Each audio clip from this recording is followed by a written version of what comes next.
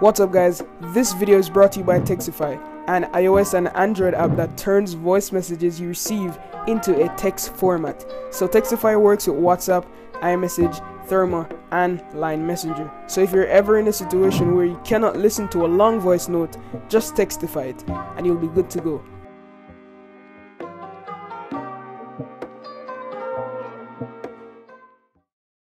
What's up guys, Shevon coming at you with a brand new video. And recently WWDC has just passed 3-4 hours ago and iOS has released a bunch of new software updates. One of these software updates was iOS 11. So a lot of people be thinking that oh I can't get iOS 11 until fall. Well, if you're watching this video, you could get this without a developer account for absolutely free. So I'm going to show you guys is just how to do that. So as you can see right here, my phone is on iOS 10.3, I think 10.3.2. So what you need to do is just open the link down below in the description below the subscribe button. And then you want to just open it in Safari meaning that if you're using the YouTube application you just need to hit the circular Safari icon in the bottom right hand corner.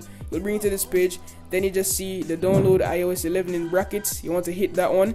You'll open this profile hit install. Then what you want to do guys if you have a passcode enter your passcode.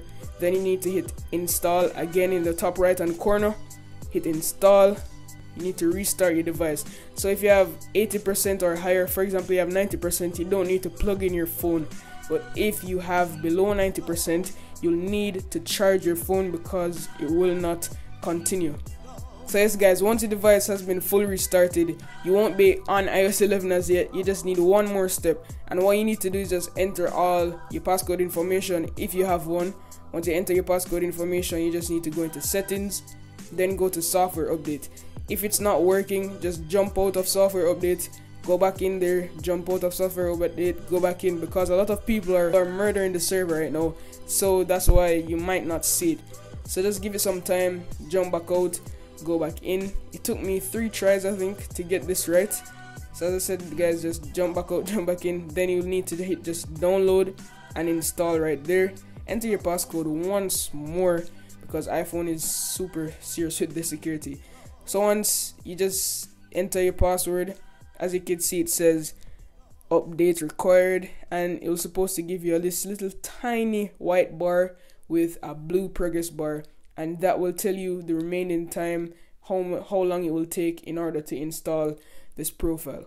12 seconds later. Says guys, once the profile has been finished, you'll be greeted with this beautiful like this new feel. It's like i can just feel the icons moving. There's this new files icon as well.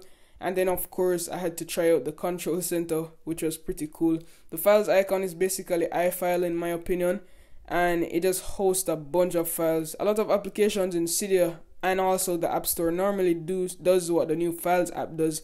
So it's not really something that is mind-blowing or game-changing in my opinion. But as you can see they have a lot of like animation changes the the app store app changed.